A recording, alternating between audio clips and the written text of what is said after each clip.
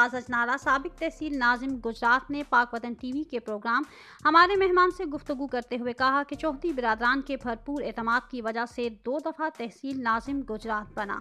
मेरे वालिद मोहम्मद नवाज़ अजनाला को भी चौथी जहू इलाही शहीद का अतमाद हासिल था और वो उनके साथ 1970 से लेकर 1977 तक एम पी ए रहे। चौथी सादत नवाज़ अजनाला ने अपने भाई चौधरी शुजात नवाज़ अजनाला का ज़िक्र करते हुए कहा कि वो भी इस वक्त मौजूदा एम पी ए हैं जो कि चौथी बिरादरान के साथ नस्ल दर नस्ल ताल्लुक की ज़िंदा मिसाल हैं। बिसमीम आज हम नाजिन गुजरात के, गुजरात शहर के तरही गाँव अजनाला जो कि सरहदी इलाका है, और आखिरी यूनियन कौंसिल है, यहाँ पे अजनाला में मौजूद हैं। आप जानते हैं कि अजनाला गाँव जो है, वो मुस्लिम लीगी हवाले से खासा मकबूल है। यहाँ से Chaudhary Mohammad Nawaz M P A मंतखब हुए। वो चौधरी जौरलाई शहीद के करीबी साथी थे।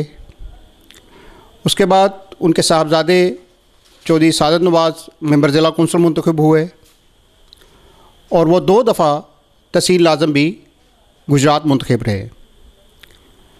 अभी मौजूदा जो एम पी हैं, वो मोहम्मद नवाज़ के छोटे साहबजादे हैं, सादत नवाज़ साहब के भाई हैं, शुजात नवाज़ अजनाला। आज हम मौजूद हैं जनाब सादत नवाज़ अजनाला साहब के पास।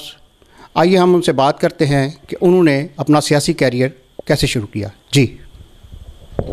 जी बिस्मिल्लाहिर्रहमानिर्रहीम सबसे पहले आपका शुक्रिया जी कि आपने मुझे टाइम दिया। मेरे सियासी करियर का आप पूछ रहे हैं, वैसे तो बेसिकली मैं जब पैदा हुआ था तो एक सियासी कार में पैदा हुआ था। मैंने बचपन में ही सियासत बड़ी सूझबूझ रखता हूँ। लेकिन अमली तौर पर मैं कॉलेज के ज़माने में एफसी कॉलेज में मैंने हिस्सा लेना शुरू किया। मैं पहला काउंसलर का इलेक्शन एफसी कॉलेज में लड़ा था। और, ये मैं वाद काउंसलर था जो एफसी कॉलेज में मैं अकेला जीता था एक्शन कमेटी से। बाकी जमीयत, इस्लामी जमीयत तलबा, तमाम सीटें जीत गई थी, मैं एक वायद आदमी था। वो रान थे ये बंदा कैसे जीता? वो मेरे पास गुर थे, सियासी, इसलिए जीता था। लोगों से प्यार, मोहब्बत। तो वैसे आप सियासत की बात, गुजरात की कर रहे हैं तो वो तो मैं नाइन्टी नाइन्टी एट में पहला इलेक्शन मैंने ज़िला कौंसल का लड़ा, और वो नवाबजादा मजर अली के मुकाबले में मैंने वो इलेक्शन जीता, और उसके बाद फिर मैं अमली तौर पर सियासत शुरू कर दी। 2002 में 2000 दो दो हज़ार में मेरे वाले साहब की डेथ हुई, उसके बाद मैं अमली तौर पर सियासत में आ गया। उसके बाद मैं दो दफ़ा तहसील नाजम बना, वो चौधरी बरदरान की वजह से बना, आवाम की दुआओं से, अल्लाह की मेहरबानी से बना, और तब से वो अमली तौर पर सियासत में हूँ। अब मेरा छोटा भाई जो है एम पी है, मेरे वाले साहब भी एम पी रहे हैं। तो हम बेसिकली मुस्लिम लीग से हमारा तलक है, चौधरी बरदरान से हमारा तलक है, चौधरी जौल ख़ानदान से हमारा जो कुछ भी है वो जिस पार्टी में भी हूँ हम चौधरी राहुल शेद ख़ानदान के साथ। ये मेरी सियासत। ये ये आपका एक ज़ाती तलक है सियासत से हट के भी ज़ाती तलक है जी। हाँ सियासत भी मेरे वाले साहब ने भी सियासत में जब अमली तौर पर शुरू की थी पहले हम बेसिकली सियासत में नहीं थे। मेरे दादा चौधरी खान मलक जो थे वो अपनी रिश्तेदारों की मदद करते थे सारा काम उनके साथ करते थे, उनकी मदद कर, उनका उनका नाम बुलंद किया मेरे दादा चौधरी खान मुल्क ने। लेकिन जब हमारे, अपने ख़ानदान में कुछ इख्तलाफत हुए तो फिर हमने कहा, ये सब कुछ हमारी वजह से हासिल कर रहे हैं। हम खुद क्यों ना इसमें हिस्सा लें? और फिर मेरे वाल साहब ने उन्नीस सौ सिक्सटी, नाइनटीन सिक्सटी एट में तौर पर सियासत में हिस्सा लेना शुरू कर दिया। और उन्नीस सौ सत्तर से लेकर उन्नीस सौ सेवेंटी सेवन तक मेरे वाल साहब एम पी रहे। चौधरी जवाहर साहब के साथ। चौधरी जवाहर साहब एम थे, मेरे वाल साहब एम थे। तब से सियासत जारी है। और अल्लाह के फजल से जब से मेरे वाल साहब और मैं और मेरा भाई सियासत में हम कामयाबी, अल्लाह कामयाबी दे रहा है। जो साहब ये बताएँ कि इलाके के हवाले से हम जब देखते हैं कि गुजरात के हवाले से और एन ए सिक्सटी एट में अभी जो मौजूदा सूरत हाल है, तमाम अखबार भरे पड़े हैं और एक नई तारीख रकम हो रही है, वो एक नारा था घर और वो कपड़ा और वो मकान। और ये अभी हमने कल देखा है कि आपने खुद प्लाट अलाट किए हैं। ये क्या स्टोरी है जनाब? ये कुछ स्टोरी नहीं ये बड़ी अजीब बात है कि हमारे यहाँ ये एक, एक मिर्ज़ा गाँव है। वहाँ कुछ लोग थे उनकी ज़मीन थी। वो चाहते थे कि हम अपने गाँव में ज़मीन बांटें। ठीक है उनकी ज़मीन तकसीम नहीं हो रही थी। वो चौधरी हसैन साहब ने उनकी मदद की, ज़मीन की तकसीम हो गई तो फिर उन्होंने पूरे गाँव ने बैठकर मुतफ़ा तौर पर फैसला किया कि ये जो ज़मीन है, उन लोगों को दे दी जाए प्लाट बनाकर, जिनके प्लाट नहीं, जिनके घर नहीं। तो फिर उन्होंने तकसीम की, उसमें चौधरी हुसैन साहब चीफ गेस्ट थे, उन्होंने मेरी ड्यूटी लगाई थी, आप जाएँ। तो फिर मैं गया था। उन्होंने उस कॉलोनी जो नई बन रही है, वो सिक्सटी, फिफ्टी सिक्स प्लाट है, फिफ्टी सिक्स प्लाट है। वो सिक्सटी फिफ्टी सिक्स जो गार होंगे वो एक कॉलोनी होगी उसका नाम उन्होंने असहन लाइक कॉलोनी रखा है। ये उन लोगों की मेहरबानी है वो ये, ये, ये मुस्तकिन को फ्री ऑफ़ कॉस्ट दिए गए। ये रोटी कपड़ा मकान का अमली नमूना जो है वो देखा है। आप देख लेना ये देखने जाकर पूछ रहे उन लोगों से। हाँ कोई उसकी कोई कास्ट नहीं वो बिल्कुल फ्री दिए गए पाँच पाँच मरले का प्लाट है और फिफ्टी सिक्स प्लाट है। ये उन लोगों का काम ये मैंने भी ज़िंदगी में पहली दफ़ा देखा है कि कोई इतना गाँव इतना बड़ा काम करे। उन लोगों में गरीबों के लिए हमदर्दी है इसलिए उन्होंने ये किया। तो साहब जब यहाँ पे नवाब सर फजल अली तो उनके खिलाफ सियासी तौर पे अलम बगावत बुलंद किया गया तो क्या मुश्किल पेश आई थी? मैं आपने नवाब सरफजल अली के ख़िलाफ़ इल्म बगावत नहीं बुलंद नहीं ऐसी नहीं नहीं नहीं ऐसी बात ही नहीं।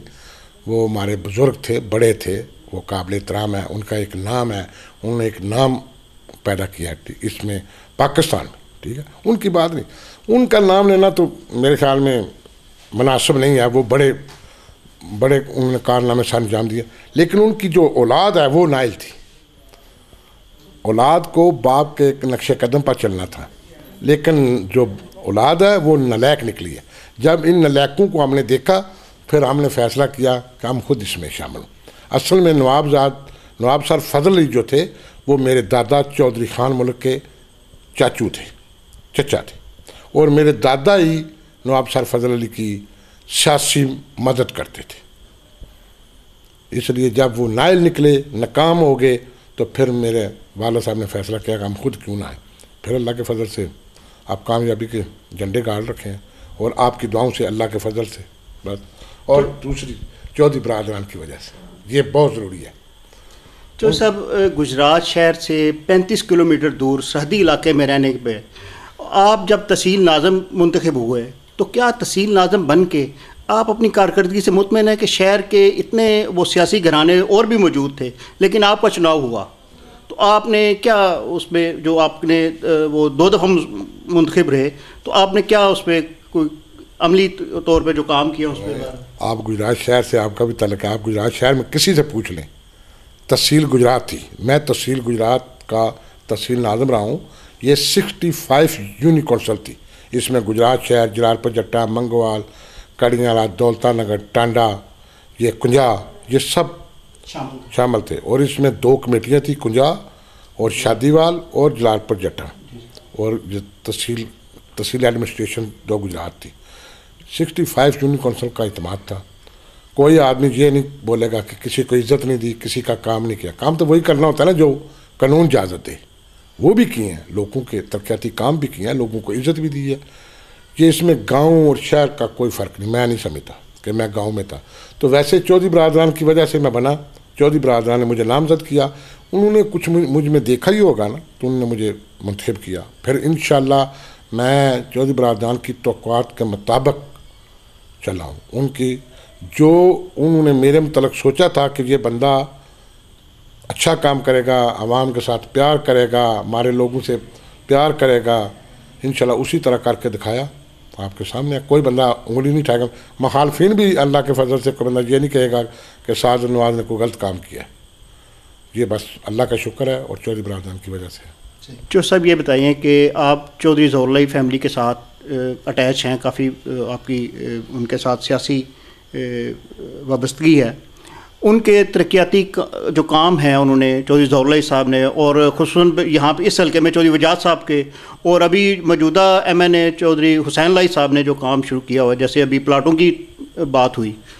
तो ये रिकॉर्ड जो तारीख रकम हो रही है, इसको आप किस नज़र में देखते हैं? मेरी बात सुने, मैं आपके सवाल पर ज़रा ज़रा पीछे जाऊँगा।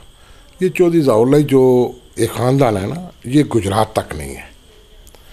चौधरी जवाहरलाई शहीद ने एक नाम बनाया है। उन्होंने अपना नाम भी बनाया है और गुजरात का नाम भी बनाया और पाकिस्तान में नहीं, बरोने मुल्क में भी। इसलिए इनको आप गुजरात तक महदूद ना रखें। ये मेरे ख्याल में ये मैं मुनासिब नहीं, ठीक है? हाँ तरक्याती काम जो है जो चौधरी जवाहर शहीद ख़ानदान जब बरसर इकतदार आया है, चौधरी परवेज़ लाई साहब बरसर इकतदार आए हैं तो पंजाब में सबसे ज़्यादा तरक्याती काम चौधरी परवेज़ लाई साहब ने करवाए हैं। जहाँ भी जिस ज़िले में भी चले जाएँ, चौधरी परवेज़ लाई साहब का नाम आता है। और ये हमारे मुखालफिन भी मानते हैं कि चौधरी परवेज़ लाई साहब ने बहुत ज़्यादा तरक्याती काम कराया है। ये तो रही पंजाब की बात। अब आ जाए गुजरात। गुजरात की बात करें, गुजरात भी जब भी ये ख़ानदान इकतदार में आता है तो तरक्की होती है। जब ये ख़ानदान किसी वजह से अपोजिशन में हो तो हमारे मुखालफिन इकतदार के मज़े लेते हैं, लेकिन काम कुछ नहीं करते। लेकिन अल्लाह के फजल से अब इकतदार में है, चौधरी बरदरान। इकतदार में नहीं, इकतदार तो पी टी आई का है, ठीक है? लेकिन हम उसके अतादी हैं। अल्लाह के फजल से अतादी होने के बावजूद सबसे ज़्यादा काम हमारे डिस्ट्रिक्ट गुजरात में हो रहे हैं। और ख़ास तौर पर 68 और 69 में काम हो रहे हैं। चौधरी मोहन सलाई साहब फंड लेकर आ रहे हैं, चौधरी परवेज लाई साहब फंड लेकर आ रहे हैं, चौधरी हुसैन लाई साहब फंड लेकर आते हैं। और, बस लोग खुश हैं, देख लें आप, जिधर भी चले जाएँ आप डिस्ट्रिक्ट ये सिक्सटी एट और सिक्सटी नाइन में जहाँ भी चले जाएँ, आपको काम होते नज़र आएँगे। और मैं कहता हूँ कभी आप यहाँ आए हैं, अगर आप दो या तीन माह बाद दोबारा कभी इस इलाके में आएँ तो आपको फिर नज़र आएगा कि ये हल्का कैसा है। दो तीन माह बाद ज़रूर चक्कर लगाना, फिर देखना कि ये इलाका आपको कैसा नज़र आएगा। अभी वो रात नहीं है जो मैं कह रहा हूँ। इन अभी तो अभी तो शुरू है ना अभी तो शुरू है ना। आपको नज़र आएगा। रही सिक्सटी एट के M N A Chaudhary Hussain साहब की बात। वो एक मुनफरद किस्म के एम एन ए मैं उनकी ये आपके सामने बैठकर उनकी तरीफ़ें करता जाऊँ तरीफ़ें करता हूँ ये भी अच्छी बात नहीं।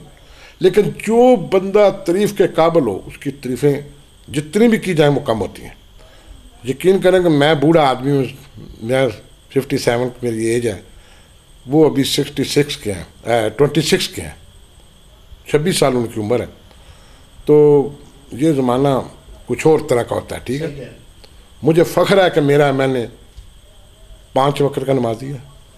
मुझे फ़ख्र है कि मेरा एम एन ए तजत भी मैं ज़रूर पढ़ता होगा देखन देखा नहीं। नमाज़ पाँच पाँचों टाइम पढ़ते हैं? और रोज़े रखते हैं। हर वो काम करते हैं जो एक मुसलमान के लिए ज़रूरी है। इतनी कम उम्र में हालाँकि पता है इसी कम उम्र में बहुत कम लोग इस अपना और शामिल होते हैं। लेकिन पता नहीं अल्लाह ने कैसा हमारे लिए यह मैंने भेजा है। अवाम के दुख दर्द में ऐसे शरीक होते हैं कि यकीन करें मुझे भी नहीं पता होता तो मुझे कहते हैं टेलीफोन का ये हो रहा है, आपको पता है? मैं कहा, मुझे नहीं पता। ये हो गया। अवाम के साथ टच ये टिच बच्चन नहीं होता टिच बच्चन जो, वो ऐसे हैं अवाम के साथ। बस, मिसाल दे रहा हूँ। हर दुख, दर्द का पता है। हर वक्त कोई उनको, कोई आदमी किसी वक्त भी टेलीफोन कर सकता है। मैं आपको एक मिसाल छोड़ी दूँ कि ये एक हफ़्ते की बात है, रात तीन बजे मुझे टेलीफोन कर दिया उन्होंने। क्या कर रहे हो? मैं कहा, जी, मैं फेसबुक देख रहा हूँ। अभी सोए नहीं मैं नहीं सोए। मैं कह, आप भी नहीं सोए? कहते, नहीं, मैं भी नहीं सोया। ये ये काम है, आपने मुझे ये ये करने हैं, ये ये। उन्होंने मेरी ड्यूटी लगाई। तो मैं खुशी महसूस करता हूँ, जब वो मुझे कोई ड्यूटी देते हैं तो मैं मुझे फ़ख्र है मुझे वो ड्यूटी देते हैं और मैं उसको खुशी से कबूल करता हूँ और वो इन काम, कार्यक्रम को दोबारा पैगाम देता हूँ। तो तीन बजे मुझे मैसेज आया, सुबह आठ बजे दोबारा फिर मुझे कॉल आ गया। तो जब दोबारा कॉल की तो वो मैं सोया हुआ था। तो मुझे कह रहे हैं क्या क्या वो कर रहे हो? मैं कहा मैं सोया हूँ। तो वो कहते मैं तो अभी अभी अभी जागा हूँ कुछ देर पहले। तो आप अभी सोए हुए मतलब मेरे कहने का मतलब कि जब ट्वेंटी सिक्स बंदे की एज हो ना तो बंदे को नींद बहुत ज़्यादा आती है। हमारे बूढ़े जो बंदे जो है ना उनको नींद कम आती है ठीक है? दो तीन घंटे सो ले फिर उठ गए जो यंग लड़के होते हैं वो तो ज़्यादा सोते हैं। ये बंदा तीन चार बजे सोता है सुबह आठ बजे फिर टेंशन होकर फिर टेलीफोन। और ये कोरोना आजकल कोरोना है इस वजह से वो ज़्यादातर टेलीफोन पर हर बंदे से रबते हैं। और वायद अमान्य है कि दिन में हर अपने वर्कर जो उनका सपोर्टर है उसके टेलीफोन करके उसके पूरी इंफॉर्मेशन ले के तो फिर वो सोते हैं। राशन की तकसीम में उन्होंने अपना राशन वाली बात जो आप कर रहे हैं ना ये पूरे पाकिस्तान में वायदा मैंने है। लोग तो किसी से लेकर किसी के किसी पार्टी से लेकर कुछ चंदा लेकर करते होंगे। ये वायद मैंने चौधरी हुसैन लाई ये चौधरी जौलाई खानदान वैसे कर सकता है, ये हर बंदे के बस का रोग नहीं। चौधरी जौलाई शहीद का खानदान वैसे शुरू से ही इस काम में पाकिस्तान में सबसे आगे है। लेकिन चौधरी हुसैन लाई ने जो किया ना इस इस दफ़ा, ये नामुमकिन को उन्होंने मुमकिन बना दिया। हमारे तकरीबन हर गाँव में, मेरे ख्याल चंद गाँव रह गए होंगे। बीस पूरे हल्के में सिक्सटी एट में पंद्रह या बीस गाँव रह गए छोटे बड़े। हर गाँव में ट्रक राशन भेजा है आटा भेजा है और राशन के थैले पैकेज भेजा है हर बंदे को मिले हैं। ये बंदे ही फिर है। और ये खुद बंदे से पूछते कहाँ गए हो?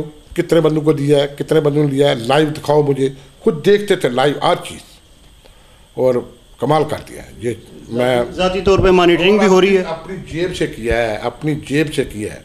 और खुद देखना है किसको मिला है किसको नहीं मिला। मुझ पर भी नहीं छोड़ा। हालाँकि मैं तो उनका एक वर्कर हूँ, खादम हूँ, लेकिन वो मुझ पर भी इतमाद करते हैं, लेकिन वो कहते हैं हो सकता है कि मुझसे कुताही हो जाए। वो खुद डायरेक्ट बंदे समझते थे और डायरेक्ट बात करते कितनों बंदों को मिला है कितने को मिला, नहीं मिला? जिनको मिला, उनका नाम बताओ, उनका टेलीफोन दो। जिनको नहीं मिला, उनके टेलीफोन दो। वहाँ के लोग क्या कहते हैं? ये हर चीज़ वो उनकी नज़र में थी। चौधरी सादिक नवाज़ साहब हमारे साथ मौजूद हैं। इनका एक पहलू ये भी है कि ये ओवरसीज़ पाकिस्तानी भी रहे हैं, जर्मनी में ये रहे हैं। हम इनसे पूछते हैं कि वहाँ पे जो कम्युनिटी के मसाइल हैं, उसके हवाले से ये क्या जानते हैं और उनके मसाइल के हल के लिए इन्होंने क्या इकदाम किए हैं चौधरी बरदरान के हवाले से कि वो वो कैसे मुआवन साबित हुए हैं इस सिलसिले में। जी चौधरी साहब। जी, मैंने पहले भी बोला कि चौधरी बरदरान ने नाम पाकिस्तान में नहीं कमाया बरौन मुल्क भी कमाया। ठीक है। मैं एक चौधरी बरदरान का साथी होने के नाते एक ओवरसीर होने के नाते मैं आपको ये बताता चलूँ कि वहाँ बरौन मुल्क ज़्यादातर गुजरात के लोगों का तलक है। मजारिटी गुजरात के लोगों का तलक। और जो गुजरात से लोग तलक रखते हैं ये ज़्यादातर हम लोग जो वहाँ गए हैं साहब जॉब के लिए गए हैं काम के लिए गए हैं काम करते हैं वहाँ। तो मैं भी वहाँ काम करता रहूँगा, ऐसी कोई बात नहीं। असल में बात यह है कि गुजरात के लोग वैसे भी चौधरी बरादर से प्यार करते थे, लेकिन जब चौधरी बरादर इकतदार में आए हैं तो फिर साहब ज़ाहिर है कि वो कुछ ख्वाहिशात भी रखते थे। मैं आपको एक छोटी सी बात दूँ कि चौधरी शुजा साहब जब वजी अजम पाकिस्तान बने तो उन्होंने ओवरसीज पाकिस्तान के लिए बहुत अच्छा काम किया। वो काम ये किया कि हमारे यहाँ जब वहाँ कोई डेथ हो जाती थी ना किसी पाकिस्तानी की तो उसकी डेड बॉडी लाने के लिए लोग चंदा इकट्ठा करते थे। अब तो कमेटियाँ लोगों ने बना लोगों ने बना रखी हैं ना। तब कमेटियाँ नहीं होती थी। तब ये हर बंदा पर्सनल तौर पर किसी के पास जाता था। दस बीस जितने भी हो सके मार्क उस वक्त मार्क होते थे जर्मन में। अब तो यूरो हैं तो वो चंदा लेते पचास दस बीस। तो रकम चाहिए चाहिए थी चार पाँच हज़ार यूरो की ज़रूरत होती है। तो चौधरी साहब जब दल बाटी लाने के लिए। तो चौधरी साहब जब वजी अजम बने तो उन्होंने एक ओवरसीज पाकिस्तान के लिए स्पेशल ऐलान कर दिया कि जो भी पाकिस्तानी जिसकी डेथ होगी बरौन मुल्क, उसकी डेड बॉडी जो है पी आई ए मुफ़्त लेकर आएगी अब तो पी आई ए की बहुत कम फ़्लाइटें जाती हैं, लेकिन पहले हर मुल्क में फ़्लाइटें पी आई की जाती थी। लेकिन ये बड़ा तरीकी फैसला जो पूरी कौम याद रखेगी। और अभी आप देखें कोरोना के हवाले से भी जो बात हुई हैं, उनमें भी जो डेड बॉडी आई हैं, वो पी आई ए उसको उसी रेफरेंस से जो उसी वो उस वक्त का बिल पास हुआ हुआ उन्होंने करवाया हुआ था वही अमल दरामद हुआ। अभी अभी भी वो जो डेड बॉडी आ रही हैं उसी पी आई पर आ रही हैं वो फ्री आ रही हैं। ये बात। दूसरी बात है कि ओवरसीज पाकिस्तानी जो है ना हमारे बहुत ज़्यादा मुश्किल में शिकार है। वहाँ लोग हमारे पाकिस्तानी एक दूसरे की मदद बहुत ज़्यादा करते हैं लेकिन उनको मुश्किल भी बहुत ज़्यादा है। वो पासपोर्ट के चक्कर में रहते हैं शनाख्ती कार्ड के चक्कर में रहते हैं। ये भी चौधरी शुजा साहब ने बहुत बहुत ज़्यादा लोगों के लिए काम किया है, शनाख्ती कार्ड की सहूलत जो है उसको शान किया, ये पासपोर्ट बनाने के लिए भी सहूलियात कायम की, ये सब चौधरी बरादरान के काम कारनामे हैं। वैसे एक बात और बताऊँ, जो आप आपने ओवरसीज की बात किया, मौजूदा दौर में इस वक्त, वैसे हमारे हम मैं भी ओवरसीज पाकिस्तानी रहा हूँ, हमारे साथ या ओवरसीज पाकिस्तान के साथ जुल्म किया गया बहुत ज़्यादा, इस इस दफ़ा। किसी ने कोई ध्यान नहीं दिया कि इनके साथ क्या बीत रही है। लेकिन अब कोई हुकूमत भी हो मैं किसी किसी का नाम नहीं लेना चाहता। कोई हुकूमत हो मुस्लिम लीग की हो पीटीआई की हो पीपल पार्टी की हो किसी हुकूमत जब इनको पैसों की ज़रूरत पड़ती है जब इन्हें ज़रूरत पड़ती है कि हमें कुछ पैसे चाहिए चंदा चाहिए मुल्क की मदद करो। डैम बनाना है जो डैम और बहुत ज़्यादा है वो मैं सब पार्टियों का नाम है एक पार्टी का नाम नहीं लिया मैं कह रहा हूँ कि इसमें मुस्लिम लीग भी शामिल कर रहा हूँ इसमें पीटीआई शामिल कर रहा हूँ इसमें पीपल पार्टी शामिल कर रहा हूँ। जब इनको ज़रूरत पड़ती है तो ओवरसीज पाकिस्तानी मदद के लिए पकारते हैं और पाक ओवरसीज पाकिस्तानी मदद भी करते हैं। लेकिन जब आप, उनको मुश्किल पड़ी हैं जो जो कि हाल कोरोना में, इटली में हुआ है, स्पेन में हुआ है, फ्रांस में हुआ है, इंग्लैंड में हुआ है, ये दूसरे मुल्कों में हुआ है, यूरोप में, किसी ने कोई मदद नहीं की। वो भी आपस में पाकिस्तानी करते इसलिए जब ऐसा काम हो, पाकिस्तानी हुकूमत जो भी हो, उसको बढ़ चढ़ कर हिस्सा लेना चाहिए।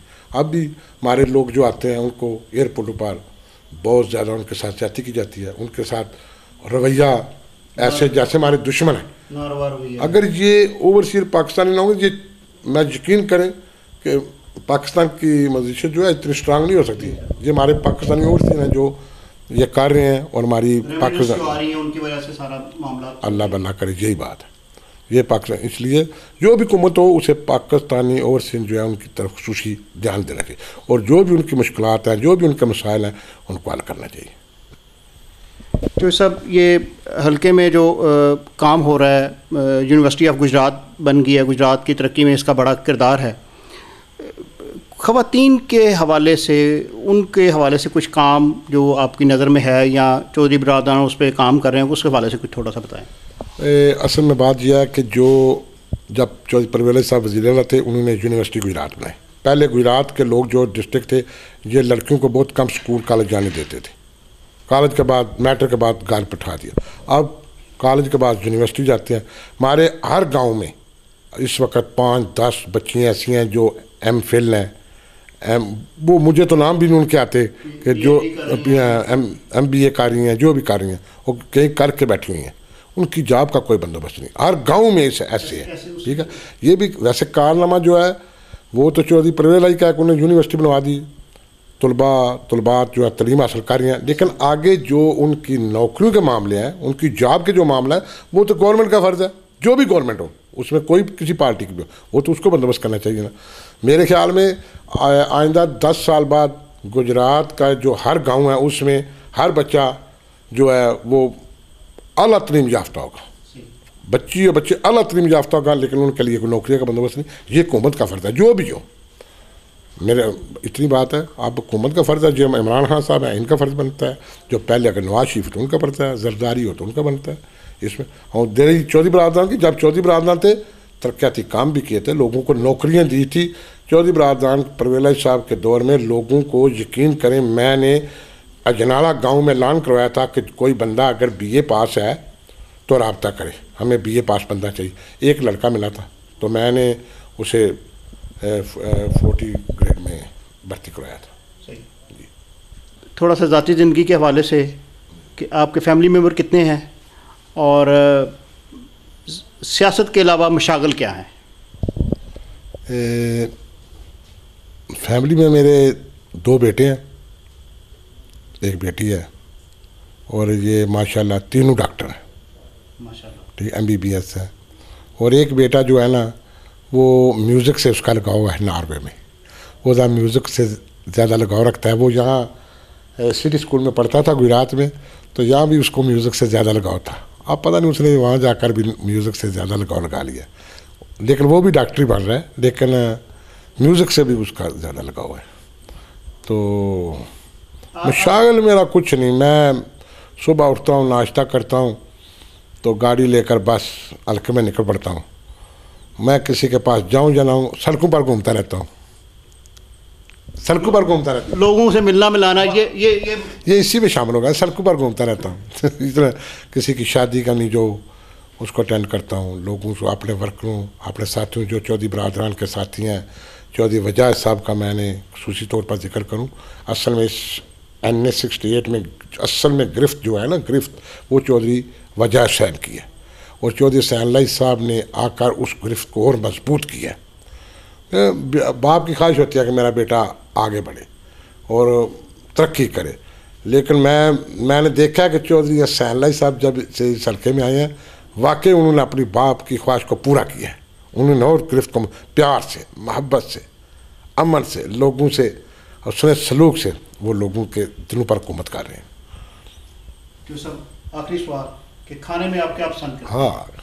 ये तो आपने बहुत अच्छा सवाल किया। असल में मैं एक ज़मींदार घराने से तलक रखता हूँ। मैं एक वायद आदमी जो भी मुझे कोई मिल जाए मैं खुशी से खा लेता हूँ। लेकिन पसंद की बात आपने पूछी है तो मैं एफसी कॉलेज में पढ़ता था। वहाँ हॉस्टल में रहा हूँ तो वहाँ मुझे हफ़्ते में एक दफ़ा वो मैस में ना पुलाव मिलता था। शामी कबाब मिलते थे रायता मिलता था और सलाद होता था। वो मैंने चार साल खाए थे वो हर वीक पर खाता था बस वही मेरे दिल में बैठ गया। अब भी वही पसंद है। पुलाव शामी कबाब रायता और सलाद। ये मेरी फेवरेट एफसी कॉलेज का बड़ा खाना जो है वो आप वो वो आपकी पसंद है। अभी भी पसंद है। अभी भी खाता हूँ ये ये बनाओ तो मैं दुनिया की कोई चीज़ नहीं खाता।